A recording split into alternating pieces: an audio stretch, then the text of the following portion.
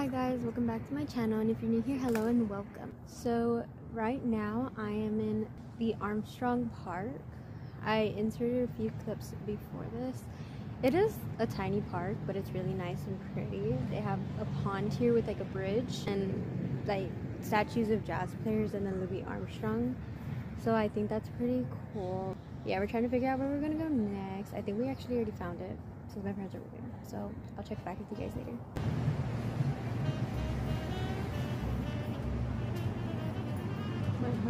Go. To it? Excuse me.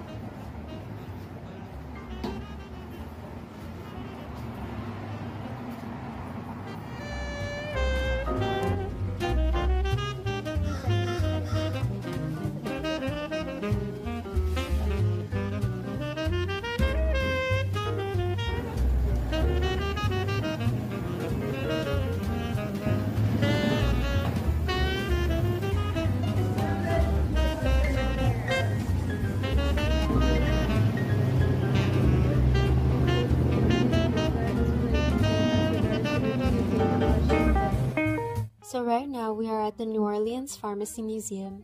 This museum is considered a historic landmark and holds many artifacts that shows the resources that were available in pharmacy and medicine during the 19th century into the early and mid 20th century. This pharmacy was where Louis J. Dufilho would do his practice and is also where he resided.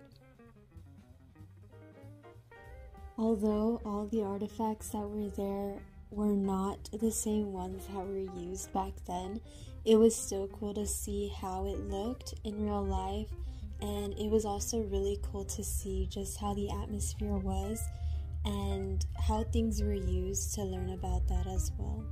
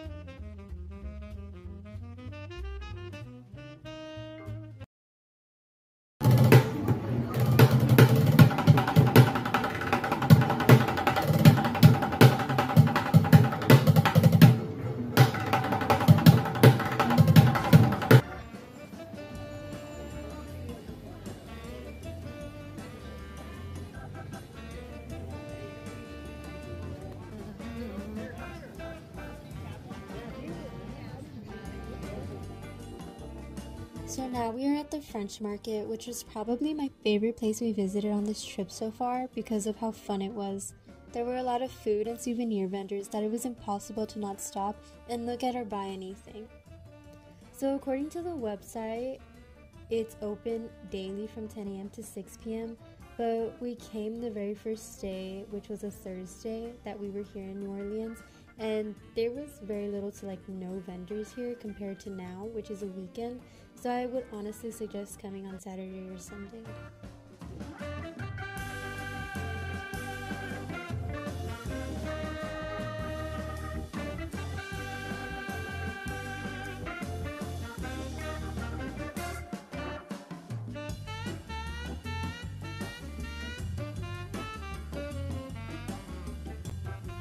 But I didn't know if I was playing. Oh wait,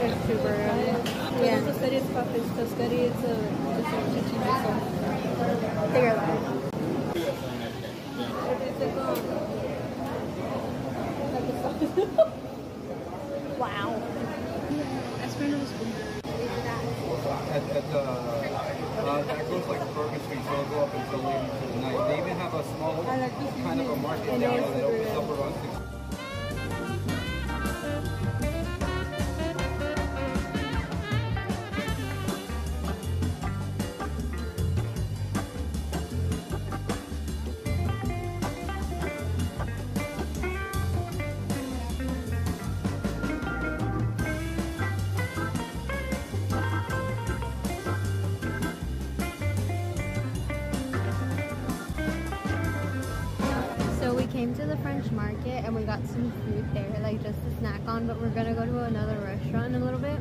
But on the other side of here, there's a festival going on that's like free. Hold on, let me show you. That's the festival right there. And they're like just playing music and like selling food and things like that. I'm just waiting for my parents because they're talking. And then we're gonna go like just I guess look around just to see everything. And then we'll probably go to eat after. Then we're gonna go back to the hotel because at eight we have a ghost tour. I think it's gonna be around the same area like Bourbon Street and like Canal and all that. I've just been having so much fun. We've been waking up super early though, like seven, six, seven.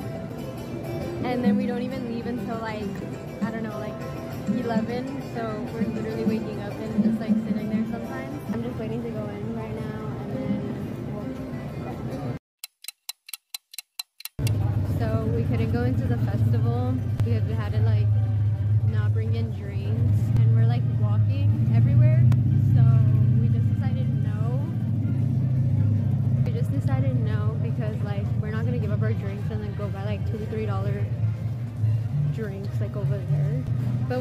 looked inside, it didn't even look like they were selling a lot of drinks. Like it looked like everything was done either way. So we're just walking. I think we're gonna find music somewhere else. I'm not too sure though. I'll check back with you guys again. But yeah, that was kind that kind of sucked. Not gonna lie. Not being able to go inside.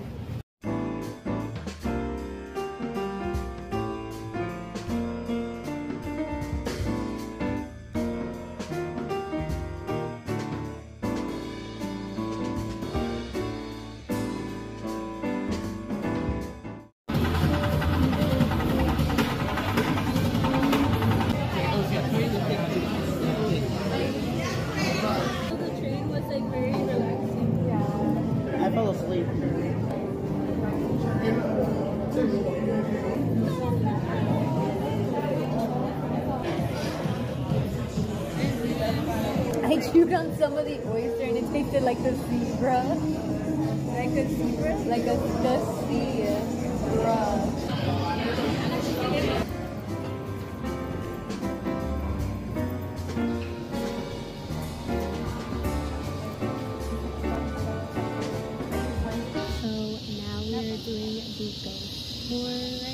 Now. Right. Mm-hmm. And it's gonna be a two-hour walking tour. So we went to the hotel and rested again. I'm so tired. It's gonna start at eight, right? Get into that. All the scary movies start with girls like that and nothing, and then they disappear. I have a paranormal activity moment. You're just gonna see. but hopefully it doesn't turn into that. We have to wait here for the next 20 minutes because it starts at 8 and it's like 7.40 right now. We're gonna go all along this like area, like Bourbon Street Canal, all those places. But I'll catch you guys later when we're actually on our tour. Between the years of 1817 and 1905, 41,000 people would die by this killer. So the pharmacy that we visited earlier actually has a really creepy backstory. During the tour, we learned that he actually sold the business to this doctor named Dr. James Dupas, who was said to have used extremely addicting medicine in his prescriptions, and he would give it to all his patients, even pregnant mothers. And to make it 10 times worse, that beautiful courtyard that we saw earlier, yeah, that was where he buried his patients that didn't make it out alive. Town urges them, ring out your church bells, the city is on fire. The church said, no. We do not ring our bells on Good Friday. This next building is called the Ursuline Convent, and it is one of the oldest and longest standing buildings in New Orleans. And it is said to house the Casket Girls on the third level.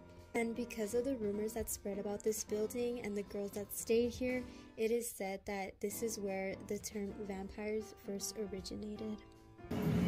This is going to come as a total surprise to you guys. Hollywood got voodoo wrong. What? So the next place that we saw was the Andrew Jackson Hotel, which was originally a boarding school and orphanage for boys who lost their parents to the outbreak of yellow fever.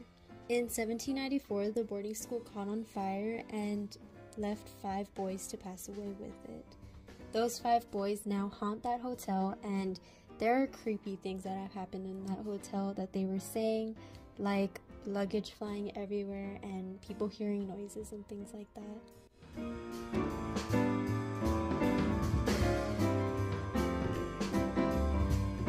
The last place we saw was the Lalaurie Mansion. This house and its history are very well known and has even appeared on the show American Horror Stories. In the 1830s, Madame Lalaurie starved and tortured her slaves within this house, and later the house was caught on fire, which was allegedly started by a slave that wanted to expose everything that was happening in the house at the time. Madame Delphine and her family left the scene before anyone could get to them.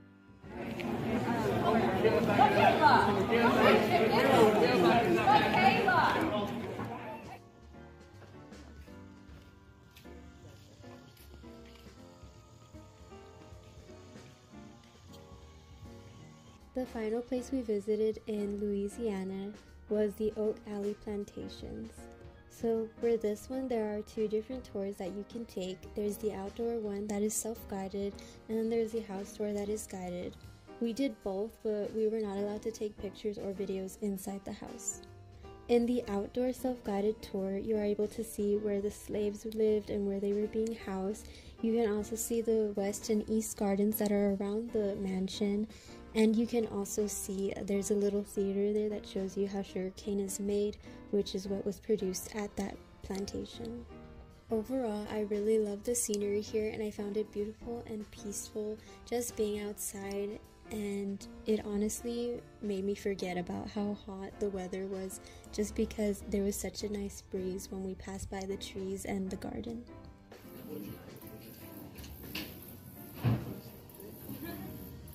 Okay.